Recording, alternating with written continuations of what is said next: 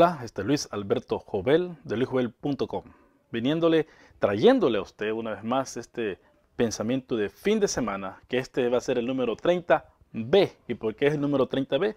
Porque la vez pasada hablé acerca de Marcos 12, acerca del, y, vimos el paralelo con Mateo, pero se me olvidó o se me pasó el, paralelo que tiene también en Lucas. Y estoy tratando de darles a, ustedes eh, para que vean los paralelos donde, eh, está tanto un texto que estamos siguiendo el de Marcos y viéndolo también donde están nosotros. Pero hasta cierto punto fue bueno de que no toqué este paralelo y no va a ser tanta exégesis como en otras ocasiones, pero quiero explicar ciertas cosas eh, que están en el texto.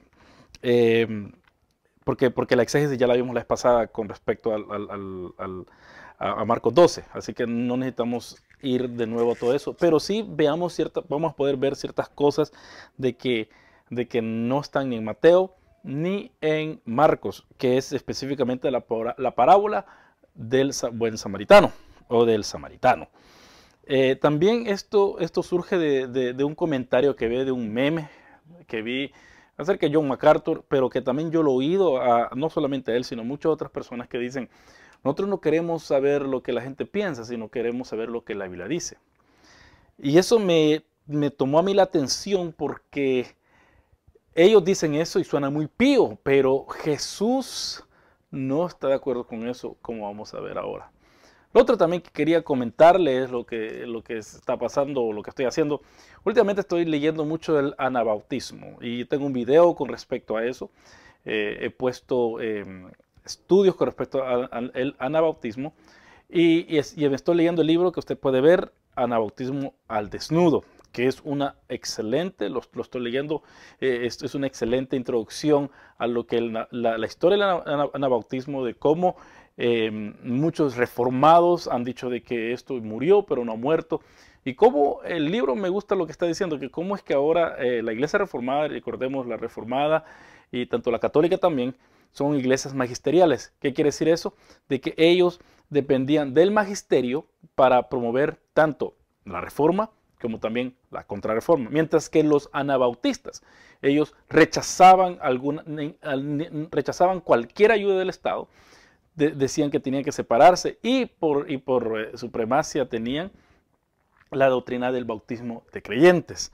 Ahora el mismo libro dice que eso no se enfatiza tanto, eh, eh, dentro del movimiento anabautista. Quizás mucho se enfatiza, mucho más dentro de los bautistas, eh, que, también hay una disputa de que si en realidad los bautistas descendemos de los anabautistas, muchos de nosotros creemos que sí, mientras que algunos como los bautistas reformados dirían que no. últimamente se han encontrado correspondencia entre John Smith o John Smith, como usted lo quiera ver, como usted lo quiera pronunciar, y, y los y los anabautistas del continente. Recordemos, los bautistas salen no de, eh, del continente europeo, sino que viene de Inglaterra, que es, aún Europa, pero es la isla junto con Islandia y, Irlanda. Em, así que el, no hay tanto, em, no es tan eh, eh, no, no, es una, osadía pensar de que sí, que hay un, hay un lazo bien fuerte entre los bautistas y los anabautistas, que tanto de que aún la iglesia anglicana eh, se opuso a, los anabautistas y miraban a los bautistas como parte de ellos, cosa de que por eso los bautistas hicieron al principio un gran, tuvieron que tratar de, separarse de ellos.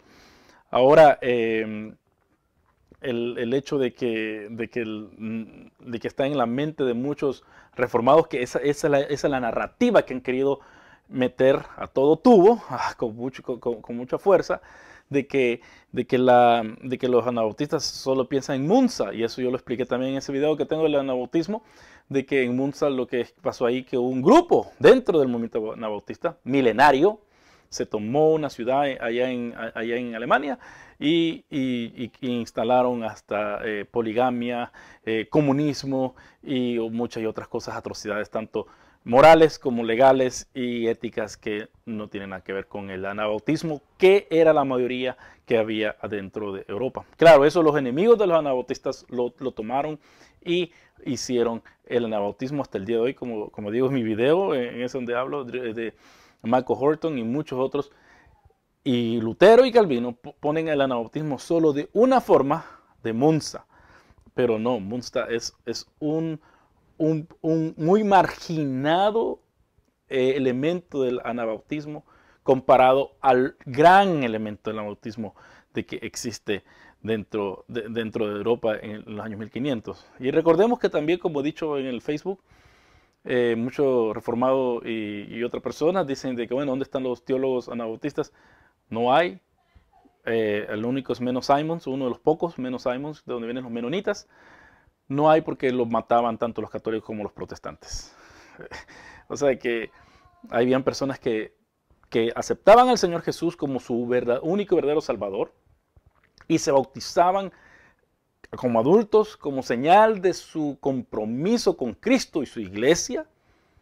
Y muchos de ellos 30 días después eran ahogados, quemados o desterrados por Calvino o los seguidores de Calvino, por Lutero, los seguidores de Lutero, o Zwinglio, los seguidores de Zwinglio, por el simple hecho de creer que la iglesia tiene que ser eh, compuesta de creyentes bautizados conscientemente, no inconscientemente. Así que eh, es, una parte de la, iglesia que, o una, parte de, de, la historia de que mucho reformado nunca se le dice. Y el anabautismo creo yo que ha sido vindicado en este sentido, de que desde que em, pasó la reforma, eh, la reforma protestante, el luteranismo, el calvinismo y el, el swinglianismo, dependieron del magistrado. Y ahora estamos en un tiempo de que el magistrado, en los países que, el calvinismo, que la fe reformada floreció, ya no apoya en absoluto a veces eh, estas religiones. Por lo tanto, eh, el, anabautismo ahora tiene un, florecimiento, un reflorecimiento. ¿Por qué? Porque lo que ahora están experimentando y están teniendo mucho problema los, eh, descendientes de la reforma en ajustarse a esta nueva realidad, los anabautistas ya venían ya acostumbrados, entonces esto es como, como estar de nuevo en el siglo XVI en el sentido de que nosotros no, no necesitamos, el, por, hablar que yo que tengo tendencias anabautistas, eh, no necesitamos que el Estado nos apoye, porque nunca nos apoyó y nunca necesitamos de él. Así que eh, eso es lo que he estado estudiando. Em, el, eh, como, como, como, comentario de que el próximo semestre en Whitley College, en el Seminario Bautista de Victoria, se va a tener una clase específicamente acerca del anabautismo, su historia, su teología, sus personajes, y durante el verano de aquí a Australia, que, que es el, estamos en el hemisferio sur, por lo tanto el verano es en julio, eh, el invierno, mejor dicho, estoy pensando en Estados Unidos siempre, el invierno es en julio, durante el invierno está la escuela de ministerios y va a venir Paul Fires, un, un, inglés que, tiene, eh, que es reconocido mundialmente como una de las autoridades dentro del movimiento bautista, de la iglesia bautista o del movimiento bautista de todo el mundo, y va a venir a darnos unas cuantas charlas con respecto a, la identidad bautista. Eso es lo que estaba haciendo, aparte de que han visto que sigo con la serie de, la nueva perspectiva de Pablo, ahora, son los pasajes difíciles que yo las había hecho antes, pero ahora los estoy cortando para individualmente dárselos a, ustedes. Así que espero que apoyen viendo esto, apoyen también eh, compartiéndolo. Em, es muy importante para mí eh, que, ustedes lo hagan para que así eh, esto se, se, se dé a conocer, se dé a conocer y también que sea edificado otra gente así como usted es edificado, espero.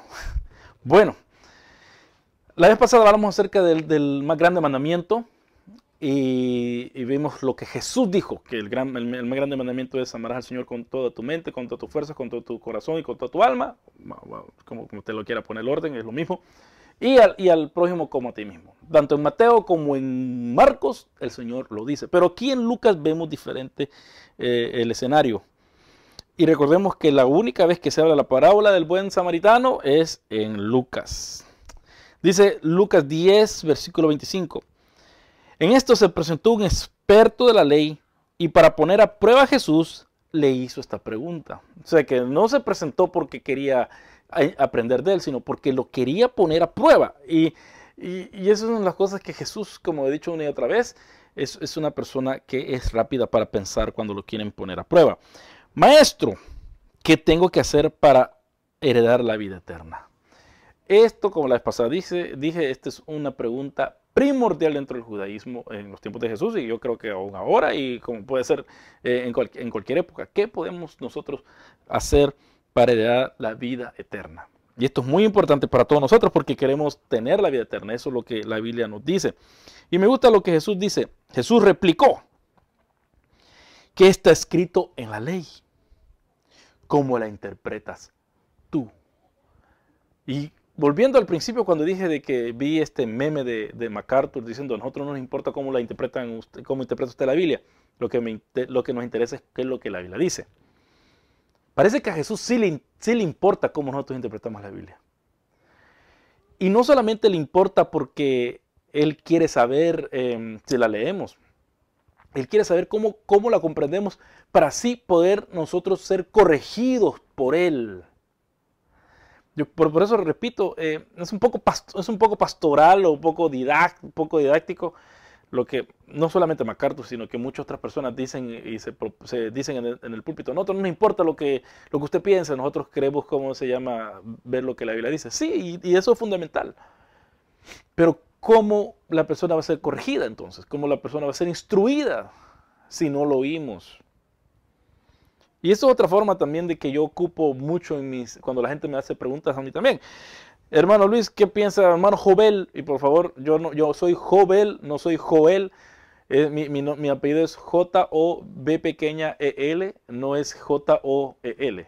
Se les olvida a veces la B pequeña y es Jovel. Entonces me preguntan, hermano Jovel, ¿qué piensa usted de esto? Entonces yo les pregunto de vuelta, ¿qué piensas tú o qué piensa vos o qué piensa vos o qué piensa usted con respecto. Yo primero quiero oír lo que ellos dicen para ver si en realidad me hacen una pregunta que quizás ellos ya, ya la entienden, simplemente quieren afirmación que, que otra persona piensa como ellos, o, eh, o, o, necesitan corrección, o simplemente me quieren eh, poner una trampa, porque hay mucha gente que yo le caigo mal eh, y, no le gusta lo que yo digo, lo que yo enseño.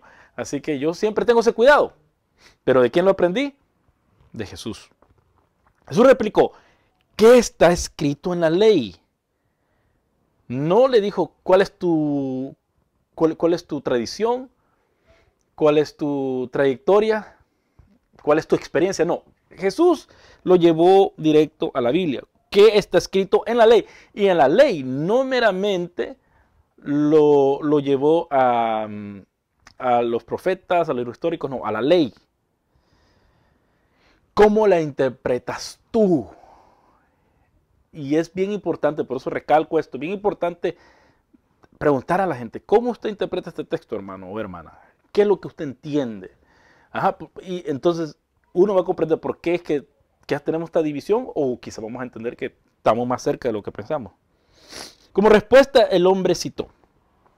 Ama al Señor tu Dios con todo tu corazón, con todo tu ser, con todas tus fuerzas y con toda tu mente. Y ama al prójimo como a ti mismo. Ya sabemos del video anterior que eh, lo que está hablando aquí, Deuteronomio 5, 6, 5 y Levítico 19, 18. Pero aquí encontramos que no es Jesús el que lo dice, sino que es el experto de la ley. En la boca de, e, e, en, el escrito de Lucas, Lucas invierte lo que Jesús dice y lo quita de Jesús y lo pone en la boca del experto de la ley. Bien contestado, le dijo Jesús, haz eso y vivirás. Y aquí está la cosa de que de que entra un poco de conflicto y, por eso le digo, estos son, pensamientos de fin de semana. Eh, a veces el pensamiento de fin de semana últimamente lo, he hecho bien, bien estructurado.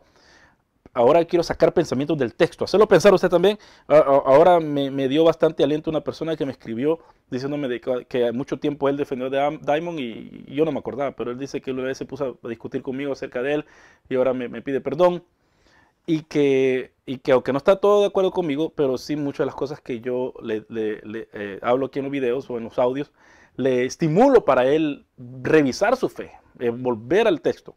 Y lo que Jesús está hablando aquí es para mí de gran importancia. Haz esto y vivirás. Le están hablando de la vida eterna a Jesús. Y vino Jesús y le dice eh, eh, que lo que la respuesta de, este experto de la ley, de este fariseo, vemos en, en, en los otros textos, de que si uno ama al Señor con toda su alma, con toda su mente, con toda su fuerza y con todo su corazón, y al prójimo como, como a sí mismo, va a ser salvo. Haz esto, vivirás hay que hacer algo para ser salvo. Y esto va muy en contra de lo que supuestamente se ha enseñado dentro de los círculos reformados, que no, eh, que solamente tenemos que tener fe y ahí está toda la salvación. Y la, y la pregunta resurge, ¿Jesús es arminiano entonces? Acordémonos que Jesús no trabajaba con, eh, esos... Eh, títulos de arminiano calvinista. No, él no trabajaba con nada de eso. Pero Jesús dijo, dijo, haz esto y vivirás. Entonces, esto crea muchos problemas teológicos para muchas personas que no están dispuestas a vivir con la atención que la palabra a veces nos, nos, eh, presenta. Jesús nos presenta. Y, en, el otro, en, el previo video hablé acerca de esto, acerca de cómo Santiago, Pablo, todos ellos hablan acerca de guardar la ley, aún con los creyentes. Así que yo, yo, le invito a ver el anterior video. Simplemente yo por eso le dije que quería simplemente sacar pensamientos del texto esta, esta ocasión. Haz eso y vivirás. Y mira lo que le dice el 29. Pero él quería justificarse. Otra vez. Esta palabra justificación. Justificación por fe. Pero él quería justificarse, así que le preguntó a Jesús, ¿y quién es mi prójimo? Yo pienso y creo de que las enseñanzas de Jesús y los evangelios son primordiales. Y no estoy, hablando, no estoy hablando de, una escritura dentro de la escritura, un canon dentro del canon, pero el evangelio es primordial para entender a Jesús. Y lo que muchos hemos hecho es que hemos agarrado las cartas paulinas y las epístolas para entender a Jesús de, de, de afuera para adentro. Y no, y tenemos que entender a Jesús de adentro para afuera. ¿Qué es lo que Jesús está tratando aquí? El tema de la justificación por fe, sí, eh, yo creo en la justificación por fe, eso, no es, eh, e, eso no se niega. Pero, ¿cuál es el concepto de Lucas acerca de la justificación por fe? Este hombre se quería justificar delante de Dios. Pero, ¿qué es lo que quería? Es justificarse. ¿Quién es mi prójimo? la parte ética no la quería hacer. Jesús respondió el 30. Y Jesús no empezó a dar un sermón exegético o un sermón, un, sermón eh, tópico tampoco. Y tampoco un sermón eh, que es muy famoso dentro de muchos círculos, un sermón didáctico, pero el que yo quiero hablar es un sermón expositivo. Jesús no empezó con eso. Jesús no empezó a, dar una exposición de la ley, que, que Deuteronomio 6.4, esto es lo que quiere decir, porque usted sabe, esto está, estamos hablando arameo, pero en el hebreo quiere decir otra, cosa, y también Levíticos 19 18. No, Jesús no empezó a hacer eso. Jesús empezó a decir una historia. A mí me gusta la, predicación expositiva, quizás es la mayoría de predicación que hago yo. Pero Jesús no era un predicador expositivo casi siempre. Él siempre decía historias. Él decía parábolas. No, no, no tenía tres puntos.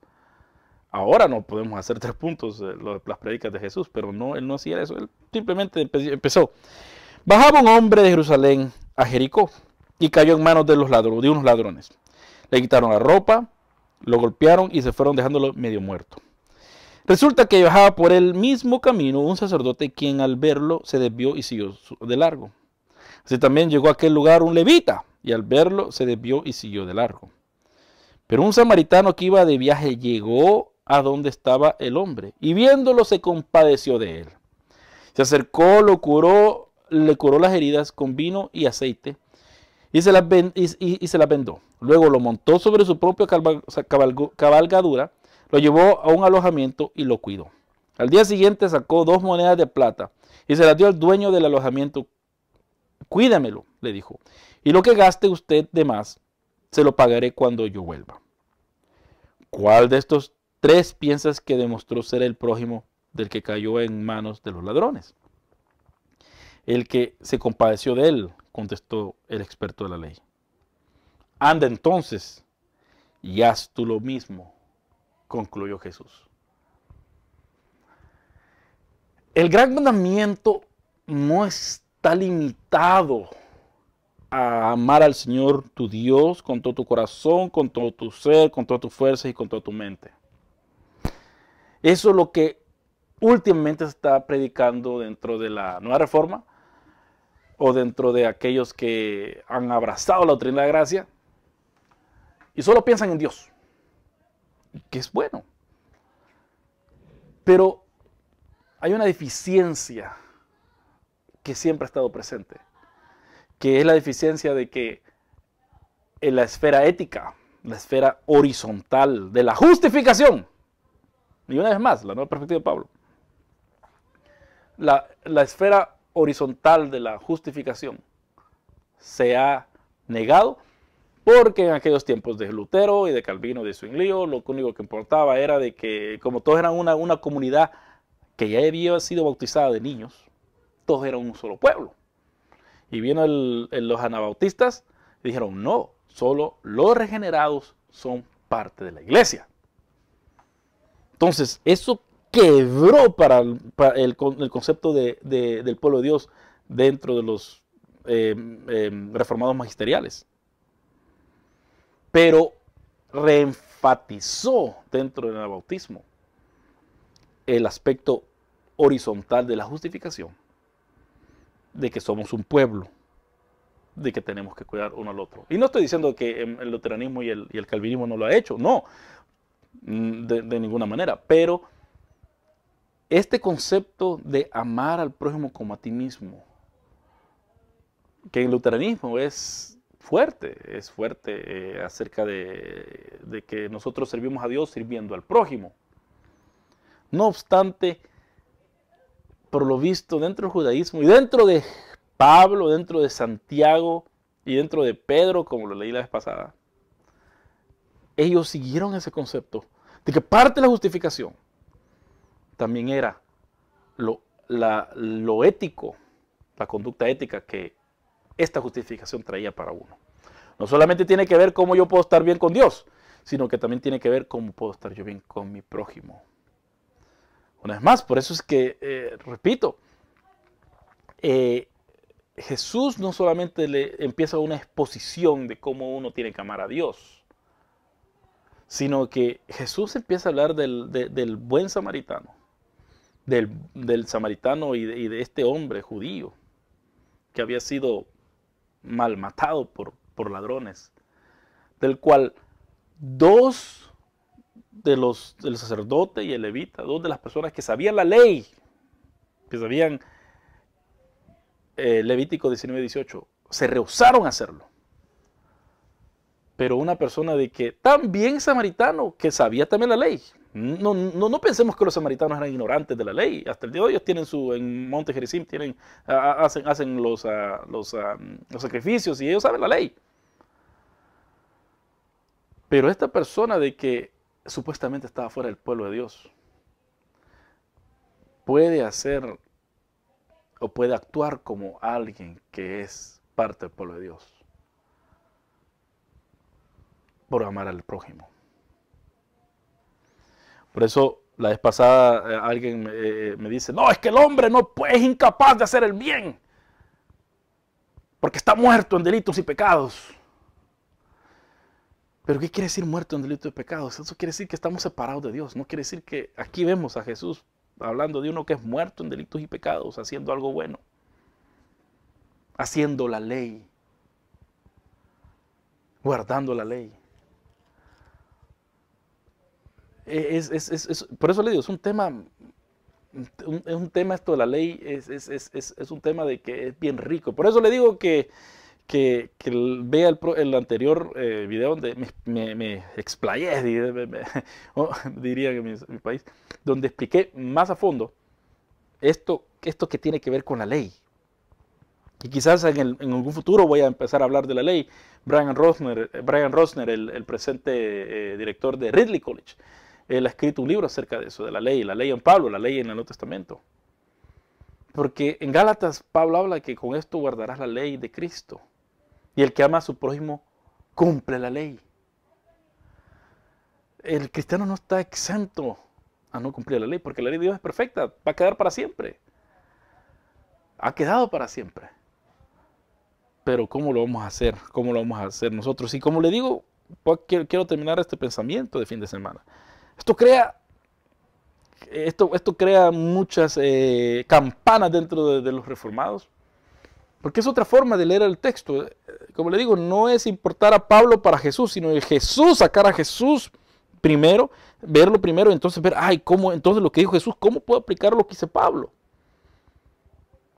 Por eso es que mucha gente eh, conmigo choca. Yo se lo digo, eh, y lo dije la vez pasada y lo vuelvo a decir, porque yo, yo no eh, me interesa saber lo que Lutero, Calvino y todos ellos sabían. Y los he leído. Pero primeramente lo que quiero ver es Jesús. Y después yo juzgo si están bien o mal. Claro, ellos eran personas más santas que yo, eran personas más preparadas que yo, pero también el Espíritu Santo se me ha dado a mí para poder ver el texto, cómo aplicarlo a mi vida, cómo aplicarlo a la gente que me oye. Yo creo que Dios sigue hablando. y un principio bautista es que hay mucho más luz que sacar de este texto. Porque este texto nunca nos va a quitar, nunca nos va a, saciar en el sentido de que ya, no, ya no quiero más. No, siempre nos va a tener rumiando, volviendo al texto. Así que mis hermanos, este es el otro texto paralelo que, estaba en Mateo 22, 34 al 40 y en Marcos 12, 28 al 31 que se me pasó. Y, qué bueno de que, que, vi meme de MacArthur y dije, eso lo he, leído yo. Jesús preguntó, ¿qué está escrito en la ley? ¿Cómo lo interpretas tú? Y el hombre lo interpretaba bien. O sea que cuando alguien viene y dice, yo interpreto la Biblia, tenemos, tenemos diferencia, no, lo, eh, no, no, no salgamos y digamos, a mí no me importa lo que, lo que, como tú lo interpretas, a mí me importa lo que la Biblia dice. No, no, no, oigámoslo, oigámoslo. Si usted está seguro de lo que cree en las escrituras, óigalo. Y como le digo, puede que la supuesta diferencia que había no exista o no sea tan, tan diferente, o puede ser de que la persona que está haciendo eso necesita corrección, o quizás usted mismo necesita corrección. Tenemos que estar abiertos a que no sabemos todo tenemos que estar abiertos que no toda la revelación la tenemos en nuestra cabeza. O nuestros líderes del siglo XVI, del siglo XVIII, del siglo XX, donde sea, no tienen toda la revelación que está en la palabra de Dios. Yo creo que eso toma un poco más de humildad, un poco más de, eh, reflexión teológica que nos hace mucha falta en estos tiempos. Bueno, esto está, este es el pensamiento de fin de semana que le traigo. Eh, me gustaría a mí invitarlo a que apoye en patreon.com. Usted lo va a ver, vaya a luisjovel.com y va a ver Patreon, Patreon, eh, para aquellos que, leen en español. Patreon.com, puede leerlo ahí. Puede eh, ver también PayPal, ahí usted puede dar una contribución que la que usted quiera. En Patreon es bueno porque en Patreon una vez que usted se, compromete a ayudar por 5 dólares o 10 dólares al mes, yo le invito a hacer eso. Y no, no, de, no se olviden de dejar sus, sus comentarios aquí en YouTube o en el blog o en el Facebook para que yo pueda ver o pueda ver eh, sus preguntas también, para que pueda ver que hay una interacción y que esto les, está, les ha interesado eh, los estudios que, que, se están dando aquí en luisjovel.com. Así que hasta la próxima y Dios les bendiga. Un recordatorio, luisjovel.com no es gratis luisjovel.com se paga. luisjovel.com necesita también recursos como acceso a, bibliotecas, eh, necesita comprar libros o revistas para, sacar estos estudios, y necesita también eh, eh, fondos para poder ir a seminarios o también seguir estudiando teología. Así que yo le invito de que usted puede apoyar en patreon.com, puede apoyar 5 dólares al mes, 10 dólares al mes, 20 dólares al mes y si quiere 100 dólares al mes. Pero también puede apoyar por PayPal. Ahí puede poner eh, el, monto que usted quiera, eh, que usted disponga. Y claro, eh, se lo vamos a agradecer aquí, tanto mi persona como John Paul, Eh, lo que los otros dos hacemos con ese dinero es comprar libros, pagar, en mi caso, pagar las clases que tengo, que tengo en el seminario, para poder así llenarme más de la palabra para enseñarle más a usted. Así que yo le invito a apoyar a luisjoel.com en lo que usted pueda. Patreon es la mejor opción, no tiene que pagar 100 dólares de una sola vez, sino que eh, puede poner eh, que se deduja de su tarjeta o de su banco cada, cada, mes un monto que usted disponga. Así que le invito a apoyar luisjoel.com